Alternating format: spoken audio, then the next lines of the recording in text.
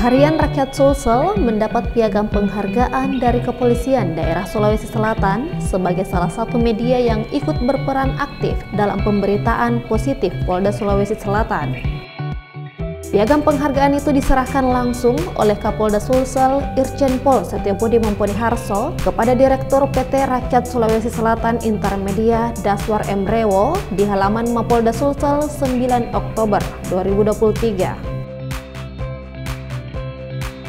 Dalam sambutannya, Kapolda Sulsel mengatakan penghargaan ini sebagai wujud kemitraan dengan pers dalam mempublikasikan pelaksanaan tugas-tugas kepolisian di wilayah Sulawesi Selatan untuk mewujudkan situasi kaptipmas yang aman dan kondusif khususnya menjelang pemilu 2024.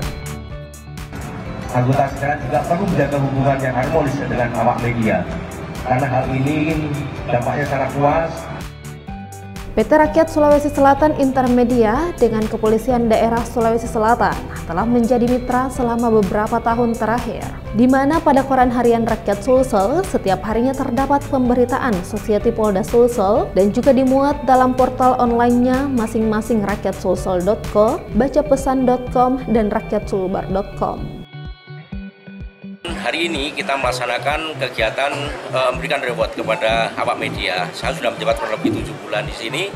Uh, kita mengikuti semua pemberitaan bahwa hal-hal itu sangat penting terkait dengan memulihkan kepercayaan masyarakat kepada Polri. Salah satunya melalui awak media. Masyarakat juga akan mengetahui uh, tugas-tugas polisi seperti apa, kemudian keberhasilan keberhasilan polisi seperti apa. Ini melalui awak media karena pagi-pagi sudah terbit kemudian di uh, kedai-kedai kopi sudah tergelar apa koran-koran yang memberikan tentang polisi. Ini sangat itu masyarakat. Nah ini yang uh, peluang yang sangat baik yang harus kita pelihara kita jaga sehingga kami hari ini memberikan apresiasi, kepada pimpinan awak media kepada uh, wartawan yang baik yang mempublikasikan secara intens apa uh, konsisten memberikan beritanya positif pada uh, Polda Sosial khususnya kemudian bisa meningkatkan uh, kepercayaan Polri pada umumnya.